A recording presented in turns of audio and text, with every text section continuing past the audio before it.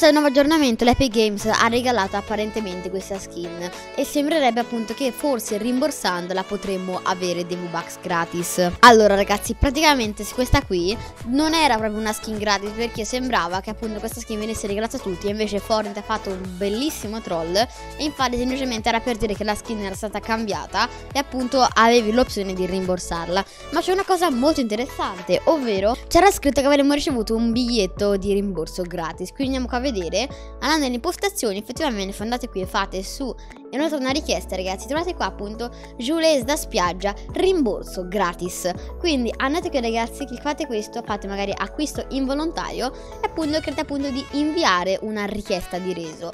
Appena lo farete però ragazzi, se avete la skin vi arriveranno 1200 V-Bucks, se non avete la skin vi apparirà appunto ragazzi la richiesta di errore. Like e iscrizione per altri video del genere.